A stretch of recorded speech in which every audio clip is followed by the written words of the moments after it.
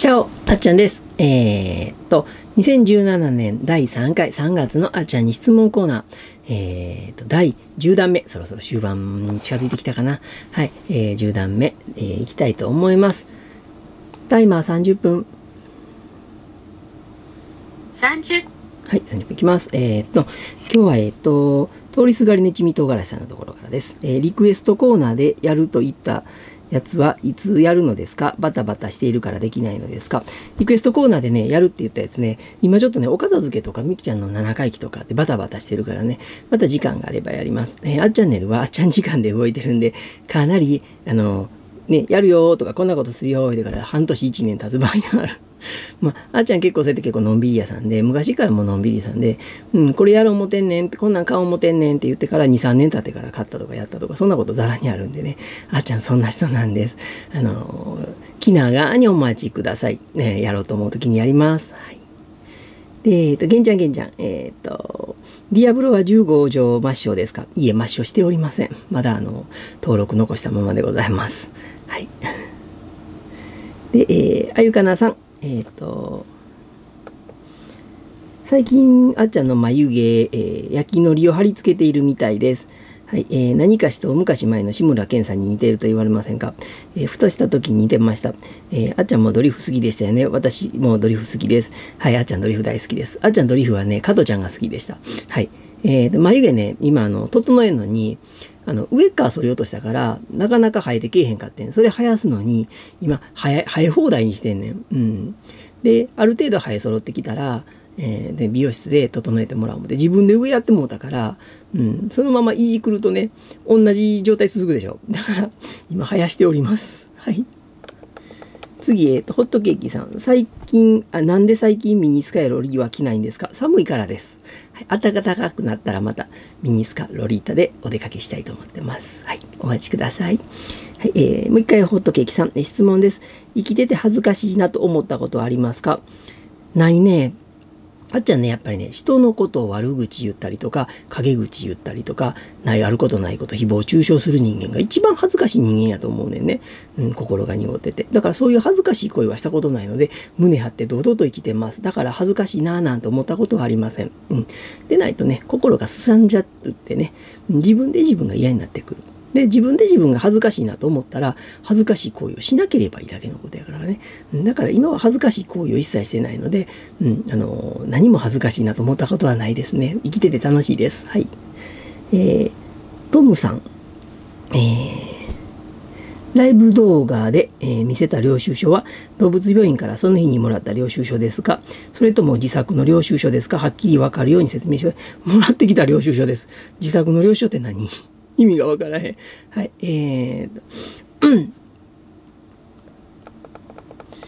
えーと、いとこさん。えー有料動画を購入したら領収書を発行されますか ?3 万円以上だから収入印紙ありますか？これインターネットのね、あの決済サービスを使うんで、えっ、とね、Google さんとの契約になるんで、Google さんから多分ね、あの、引き落としがかかると思います。で、大体引き落としとか、えー振り込みとかは、領収書は発行されません。えっ、と、おそらくこれね、えーあっちゃんもまだその、YouTube にお金払ったことないねんけど、どうも画面に3万円払うみたいに出んねんね。それポチンと押したら、どうやって決済されんねやろ。クレジットカード登録か、多分お財布携帯かなんか登録するんやと思うね。そこから引き落とされるから、そこから、えー決済サイトから決済しましたよっていう通知が届くと思います。それが領収書になります。で、そういうのを、えーと決済サイトのプリントアウトは公式領収書として通用します。はい。あの、そういうことでございます。で、領収書、えー収入印紙はね、多分その決済サイトが、えー、貼るはず、貼るっていうか、国に納めるはずです。で、領収書、収入印紙を貼らなければならないんじゃなく、あの、なんていうのかな、収入金額に得て、えー印紙税を払うだけのことであって、別に収入印紙を貼る必要はないねんね、領収書に。うんだからその領収書を発行した後まとめて、えーと印紙税支払いますみたいな書いてある領収書もあります。はい、それはちょっとあちゃん Google 側なんでわからないことです。はい、Google にお問い合わせください。あゆかなさん、えーあちゃんこんにちは。こんにちは。えーライブ動画を出す出さないの謝罪動画見ました。あまりにも簡単すぎましたね。はいえー、今回はとても厳しい質問させていただきます。例えば、あっちゃんの背中を見て、えー、育っているりょうくんやひかるくんが、ひかるくんの発した言葉で友達が傷つき、もしくは怪我をさせてしまい、学校から呼び出し、えー、相手の親御さんや先生、もちろん同僚の中、りょうくんとひかるくんが傷つけた相手に謝罪動画のあっちゃんのような謝り方なら、あっちゃんはどうし、え、どうしますか？例え話はいりません。何度もき、何度も言います。例え話はいりません。はい、えー、そのままお答えください。今回はとてもリアルな質問させていただきましたが、同じ子育てをしている親として子供の守る親として厳しい質問でよろしくお願いします。えー、ちょっと、ちょっと意味がわからへん。もう一回ちょっと読み返します。えーと、例えば、あっちゃんの背中を見て育っているりょうくんを発したことができる、怪我をさせても呼び出し、相手の親御さんや先生はもちろんどれのりょうくんとひかるくんが傷相手に謝罪動画のようなあっちゃんの謝り方をしたら、意味がわからへん。あの、もし亮とか光が誰かを傷つけて謝る時それはあの我が子が本当に悪いことしたと思うなら心から謝る。で本当に悪いことしてない言ってみたらあの原因がどこにあるか追求した上で100%うちの子が悪いと思ってば100%精神性な謝罪をします。で 50%50-50 な確率で相手も悪い場合は半分の気持ちで謝ります。で相手にもうほぼ8割9割あって、えー、それでもあの何かしたことに対して謝る場合はあのそれなりの気持ちで謝ります。謝り方ってそうやと思うね。うん、あのだからどれだけ自分が、ね、自分側が、えー、悪いことをしたかっていうことを認識した上で謝る態度っていうのは変えます。うん、だからちょっとね、あの、意味がわからへんのがね、謝罪動画であっちゃんのような謝り方したら、あっちゃんはどう、どうしますかって。量とか、子供がそういう謝り方をしたらどうしますかっていうことか。うん。それは、あの、そういう謝り方する前に、まず家で話するね。で、どなんでそういうことをしたのかっていう話をして、うん、で、ああ、そういうことかって。だから、もし相手が、えー、相手にしたことが自分がものすごく悪いことしたと思ったら謝りなさい。で、自分が悪くなければ謝る必要はないですっていう。うん。だから、なんでそうなったのかを考えろって。うん。だから、喧嘩っていうのは原因があって結果があるから、だから、言ってみたら相手が口出しして口ではなんか悪口を言ってきて手を出した場合それはダメ。口でやられた口でやり返したらいい。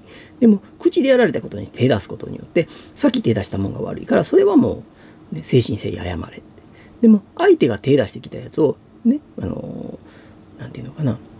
それでそのまま殴られっぱなしではねやっぱり自分も痛い目に遭うし怪我する。下手したら亡くなるかもわからないそれやったら防衛として殴り返した。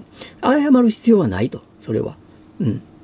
ね先に手出すものが悪い、ま、そういう感じで謝罪の仕方は変えさすそういう教育をしていきたいと思いますだから自分が本当に悪いって認識した時点で精神性や謝りなさいっていう教育をしてます未だに、はい、今でもはいそんな感じですうんだから、えっと、あっちゃんの謝り方もね、本当にあっちゃんが悪いと思ったら本当に謝る。でも、あんまり悪くないんだけど、謝れ言われたら、まあ、とりあえず謝っとこうかみたいな謝り方もする。うん。だからそ、それでいいんじゃないのかなってあっちゃん思います。自分悪くもないのにね、ペコペコペコペコ謝っとったらね、本当にこの人謝ってんのかなって、あの、狼少年みたいに思われるからね、本当に悪いと思った時だけ謝るっていうのが本当やと思います。はい。えー、まゆさん、えー、あっちゃんちゃおちゃおです。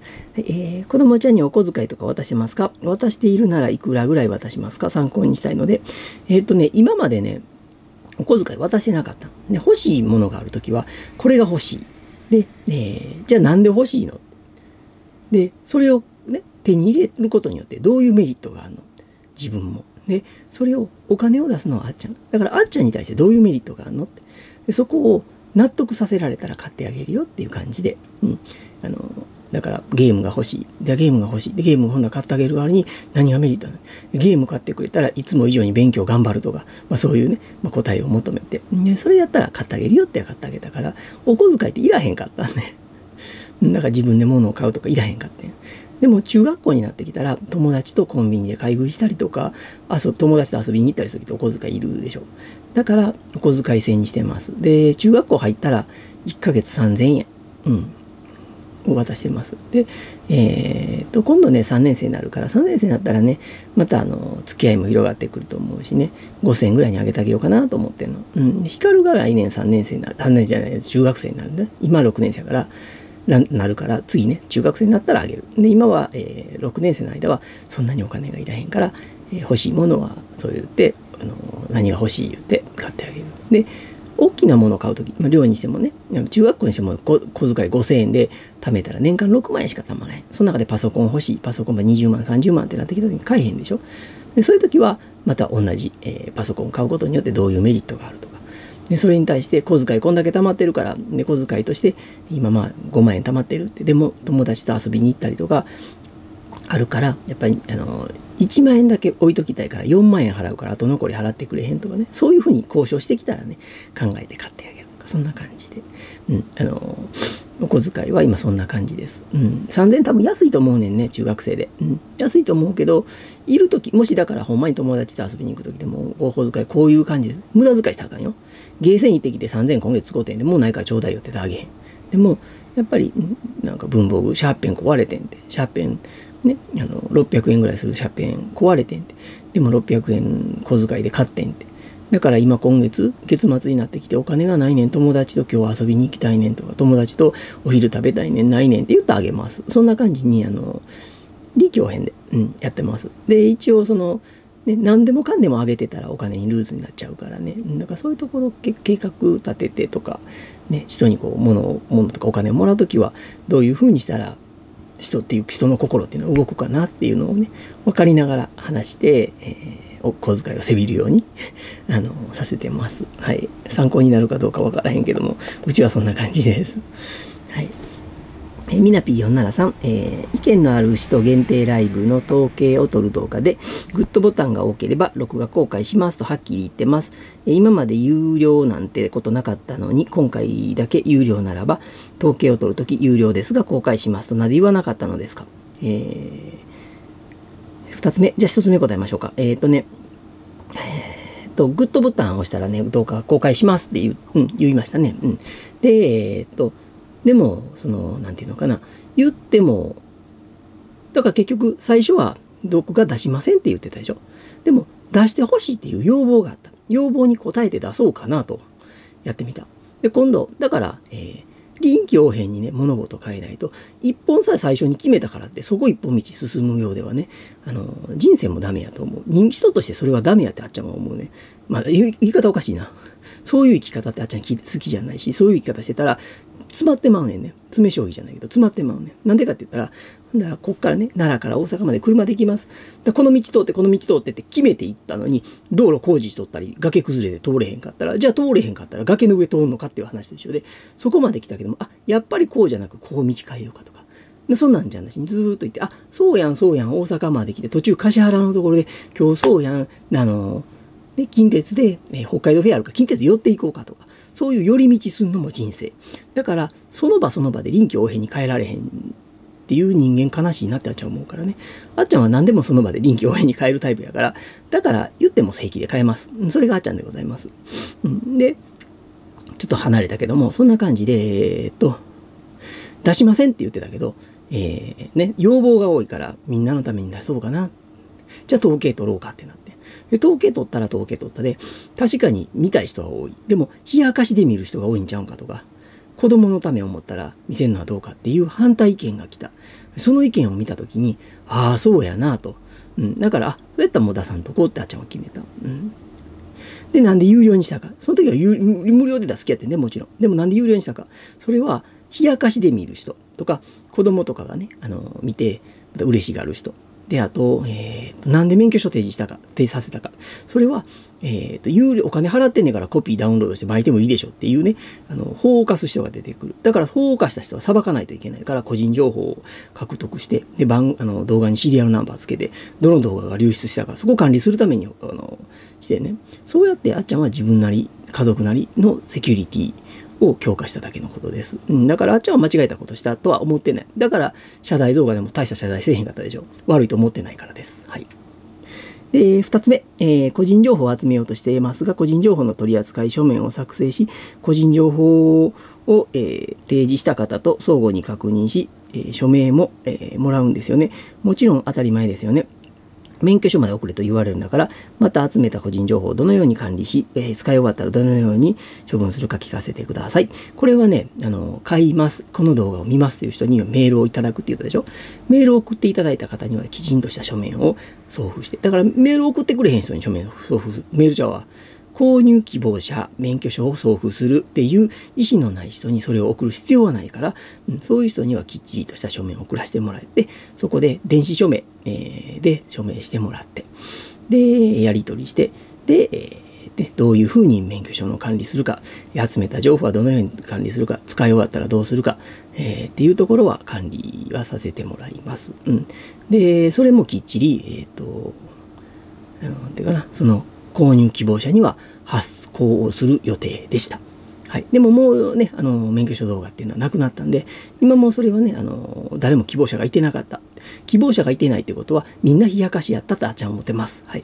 だから、えー、冷やかし半分で動画を見たいっていう人に対するあっちゃんからのメッセージ動画でございました。はい。ももちろん値段も買わへんって分かっとってんけどね。うん。そういうことです。うん。だからみんなの本気度を知りたかったから3万円っていう金額作った。3万円払ってでも本気でその動画を見たいねんっていう人がいたら本気やって思った。お金払ってまでなんでお前の動画見やなあかんねん。本気さがないからそういう気持ちがなるね。だから、それを測らせてもらいました。根性悪いですね、あっちゃん。はい。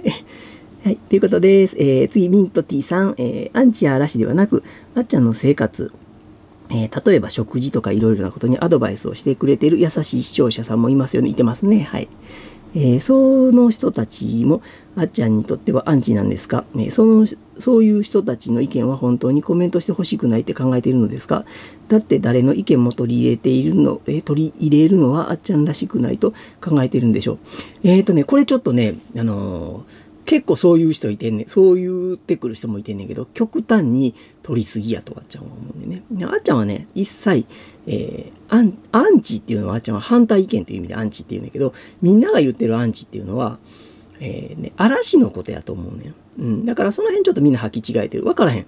あっちゃんから言うアンチっていうのはね、あっちゃんのしてること、言ってること、えー、あっちゃんの反対意見の人。それをあっちゃんはアンチって呼んでんだけど、えー、っと、嵐っていうのは、言葉悪く人を罵ったり、えー、変えようのないところ、容姿とか、えー、ね、家柄とか、そういうところをね、あの、罵る人。それは嵐。あと、えー、っと、嵐っていうかもうやからやね、それは。うん。で、嵐は、えー、何言うとるのかわからんけど、コメント欄でガタガタガタガタ言って、荒らす人。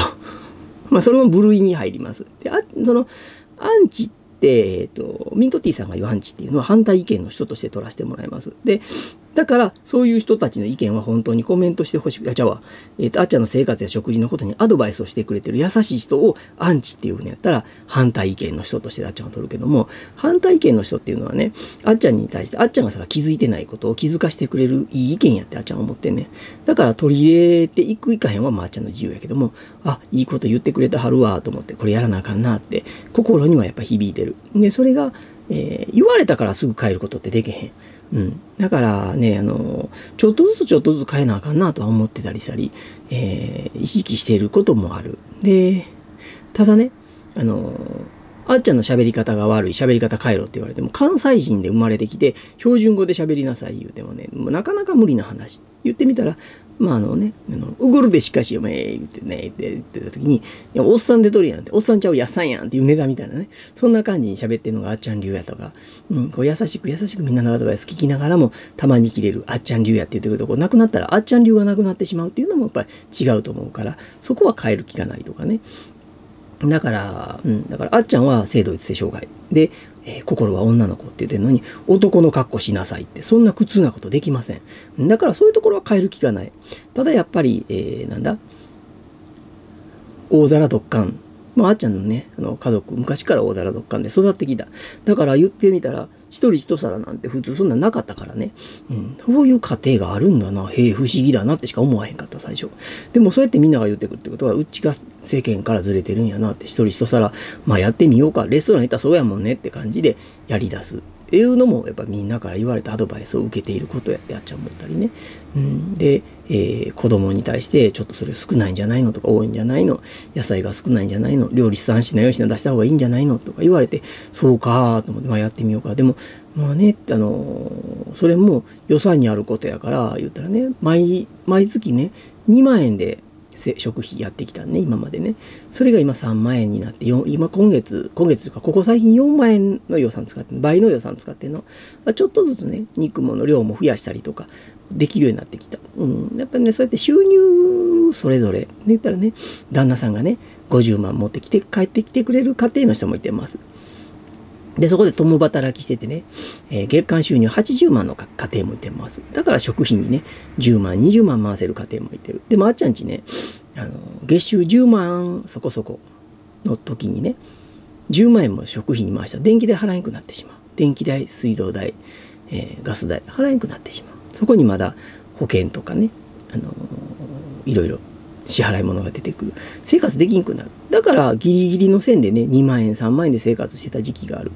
そんな3万2万円3万円で生活してる時にね3品4品出したりとかね、えー、国産の和牛作ったりとか、えー、新鮮なお魚買ったりなんて無理な話でした。だからね人それぞれの家庭でねそうやってアドバイスしてくれたかって無理なものは無理なんですよ、うん、だからまあでもあのありがたくアドバイスは受けさせてもらう。でできるようになったらしようなって自分には言い聞かしてるからね、うん、そういうところはやっぱり、うん、できる時にしかできないっていうのもあるから言われてすぐできることっていうのはなかなか難しいねんね、だからお部屋の片付けもそうやねお部屋の片付けするにもゴミ出すにしてもお金かかんのよね。その言ってみたら900円。この前でも10キロ出して、えー、90キロ出して900円。その後50キロ出して500円。で、まだまだあんねんね。それで一部屋やね。そこで一部屋まだ片付ききってないからもっとゴミ出るって考えて。で、蝶のゴミ袋が、えー、と20袋買ったから、で500円1000円。だからもうそれだけでももう3000円近い出費が出てんねんね。で毎月2万円で生きてる人が、ゴミ出すために3000円の出費っていうのは厳しいのよ、正直ね。うん。だったら3000円分。だってことは1万7000円で毎月食べなあかんからね。2万円から3000円。言ってみたら、えー、15%か。の、えー、っと、削減。かなり無理です。うん。だからね、で、毎月100万円使ってるところから2割カットって言ったらそうでもない。100万を80万にした。らそれでも苦しいはずやねんね。それをね、2, 2万円の中からうん、あの15%カットするなんていうのは本当に苦しいこと。だからお片付けすらするのにもお金がかかる。お金かかることできへん。じゃあもうお片付けしなくっても別に何もいいじゃんってなってまうねんね。後回しになってまうねんね。でやっぱり心にお金に余裕ができてきて初めてお片付けとかってできるもんやね。な体つこうたらできるやんって。ゴミほかすだけでもお金いいんねからね、うん、やっぱりお金がかかるっていうことは苦しいことなんで。だからそういうところはやっぱりあのなんていうのかな。すぐに意見は取り入れられへん、うん、だから、えー、そういう感じでやってきた。中でやっぱりなんでそうやって YouTube やめたらええやんだけど YouTube が収入源になってるから YouTube やめるって言ったら今度月2万円の食費が1万円に減らさんなんかも分からへん。うん、どこのところでやっぱあちゃんは YouTube お仕事でやってるからお仕事ってやってるから割り切ってるわけじゃないけど収入源としてやってるから動画をやめることイコール収入が減るっていうことやねんね、うん、これは収入減らすともっともっと苦しい生活になっちゃうからね、うん、だから逆に言ったらみんながもっとね YouTube 見てくれて宣伝してくれて、えー、再生回数増やしてくれたらもっともっとみんなが言ってくれるあっちゃんに慣れていけると思うねんね、うん、だからここのね家はっきり言って業者入れてお願い片付けてって言って片付けてもらったらね多分まあ2 3 0万払ったら片付けてくれるかな。もうちょっとかかるかな。ってことはお片付けするのにもし20万かかった。ってことは毎月2万円ね。を10ヶ月。10ヶ月飲まず食わずで生きろっていうことになるねってことは10ヶ月間飲まず食わずで生きた上にえー、ねそこでゴミ出してお金を払ったらあと1ヶ月2ヶ月また収入がねのなくなるわけ。だからそういうので YouTube は今まで通り続けながら収入を増やしていってそれでお片付けができる、うん、だから卵が先か鶏が先かの話と一緒で、うん、お片付けとかを先せないかないの前に YouTube をしないといけない。だから並行してやらないといけないね。うん。それがあっちゃんの生活、今の生活ペースになってるから。うん。みんな勘違いしてるのが YouTube 趣味でやってるとか思ってる。あっちゃんお仕事でやってるから、うん、YouTube をやめてしまうとね、収入なくなっちゃうんで生きていけなくなるんです。だから皆さん、あの、再生回数を増やしていくしか、最初はじゃあ、あの、いっぱい見てください。よろしくお願いします。はい。ということです。えー、っと、沖縄みは美香さん、えー、あ、じゃあ、はるみさん、ごめんなさい、名前間違えた。えー、と、沖縄はるみさん、えー、あっちゃんいつも見てます。ありがとうございます。えー、と、片親で育った私は、もうあ、えー、あっちゃんが親のような存在です。ありがとうございます。はい。えー、質問ですが、あっちゃんの老後のイメージとか、こんな風に暮らせたらな、みたいな理想が聞きたいです。老後ね、老後はね、もう、いろいろね、あの、駆け足できた人生やったからね、ちょっとごめん、思い出すの辛いけど、いろいろあって、えー、っとね、気が付いたらもうこの年になってた。っていうぐらい駆け足できた人生やって。大切なものを結構後回しにしたりね。うんないがしろにしてきたとこもあるからね。あの老後はゆっくり暮らしたい。でできたらやっぱりちょっとごめん。いろいろ込み上げてくる。子供に迷惑はかけたくない。けども子供と楽しく生きたいっていうのもあってね。だからね老後寂しいから誰かパートナーが欲しいかって。誰かっていう特定はいらんけどもみんなでワイワイワイワイ暮らしたいな。だからシェアハウスみたいなんしてみんなでねこう一緒に暮らして楽しくやりたいなっていうのがほんほんまの夢やねんね。でその中にね言ったら子供も一緒にいられたらいいなとは思うねんけど子供は子供の生活あるからね。だからあっちゃんもやっぱりあっちゃんとみきちゃんとね子供2人の生活に誰かが踏み入れる手は欲しくなかったねんね。だから正直言うとね。だからほんまはまあ確かに親にも感謝ある。でそういう気持ちもあるけど感謝の気持ちで家族を犠牲にしてほしくないのよ。逆に子供には。だから子供は子供で幸せな家庭を持ってほしい。けどもね一緒に暮らしたいっていう気持ちもあってそこちょっとね葛藤してんだけどもね。だから子供に気を使わせないためにシェアハウスしてあっちゃんはみんなと楽しくやる。で時々子供とお出かけしたりとかできたらいいなって思ってます、ちょっとごめん込み上げてきた。急に今。うん。ごめんなさい。はいえー、次。えー、っとお風呂スキーさん、えー、あっちゃんが、えー、ごめん、ちょメーカー様。G に伏せ、え、G に吹けるときは何を見て何を思ってるのかな。答えてくれるかな。ははははは。なんやろね、こうね、ぼっとこう考えてる時って、ぼーっとしてることが多いね、大体。何って考えてないね。あっちゃん結構ね、なんだかんだって考えたり、そういうのってあんまりしない。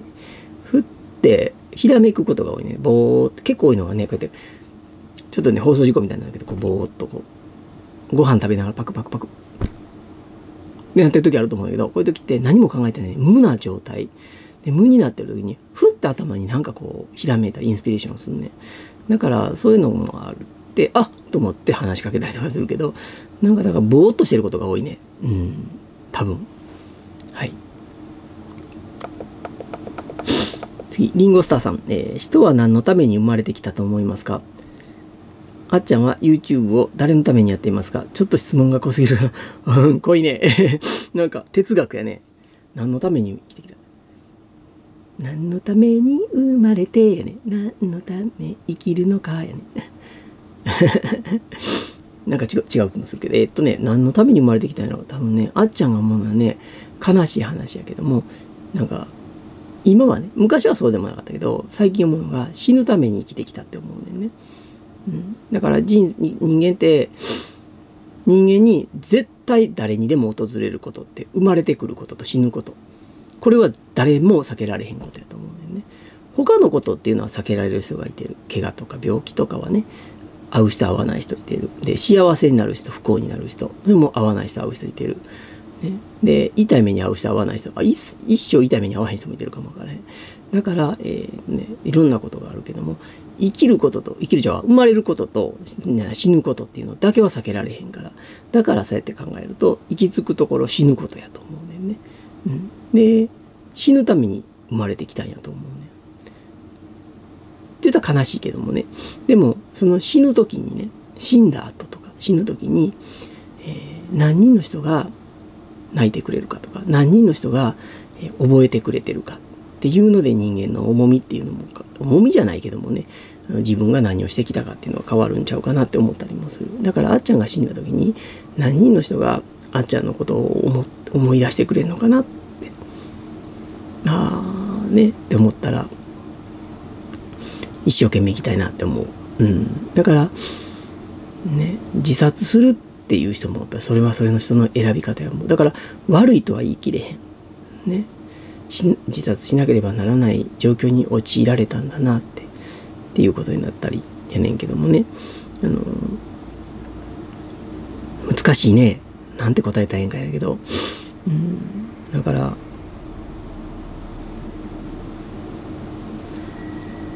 今を生きること。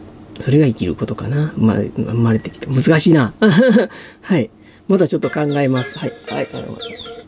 まだちょっと考えて、うん、これすごい大大やから今度いつかこういうお話してみたいと思います。うん、ちょっと考えさせてください。えー、あっちゃんは YouTube を誰のためにやってますか、えー、?YouTube はね、家族のためにやってる。いや、誰のためやろう？でも結局自分のためかな。